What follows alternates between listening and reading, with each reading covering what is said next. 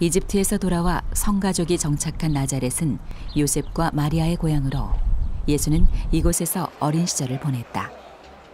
나자렛은 갈릴레아 지방의 작은 외딴 마을이었다.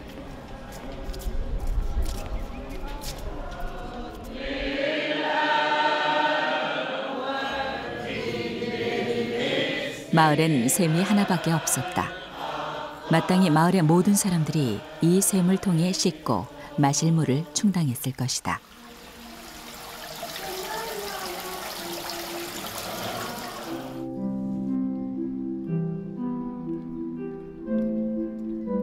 요셉과 약혼한 마리아는 늘 그랬듯이 물을 깃기 위해 마을의 샘을 찾았다.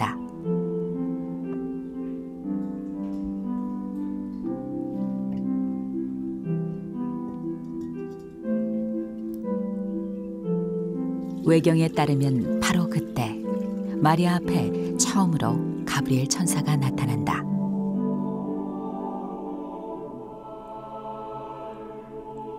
천사의 음성에 놀란 마리아는 황급히 집으로 돌아온다. 천사는 마리아를 따라온다. 이제 아기를 가져 아들을 낳을 터이니 이름을 예수라 하여라. 천사는 정숙한 처녀가 받아들이기엔 몹시 난감한 하느님의 부르심을 전한다.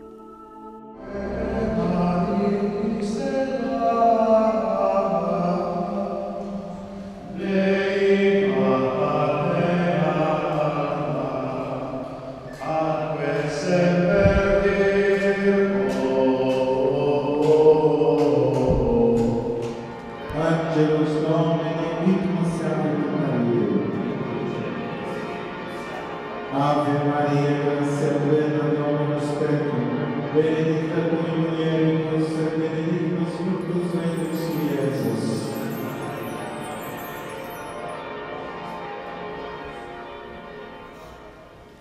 마리아가 살았던 집터 위엔 이스라엘에서 가장 큰 규모의 성당이 들어서 있다.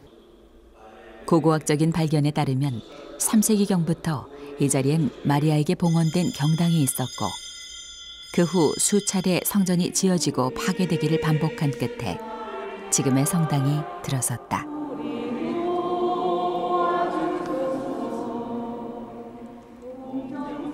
일부 유적에서 발견된 마리아를 찬미하는 히라버 문구는 성모 신심이 오래전부터 이어져 왔음을 확인해 준다. 인류 구원 사업에 초대된 마리아의 즉각적인 응답은 차분어 놀라운 것이었다. 마리아는 하나님의 뜻이라면 무엇이든 기꺼이 받아들일 준비가 돼 있었던 것이다. 이 몸은 주님의 종입니다. 지금 말씀대로 저에게 이루어지기를 바랍니다.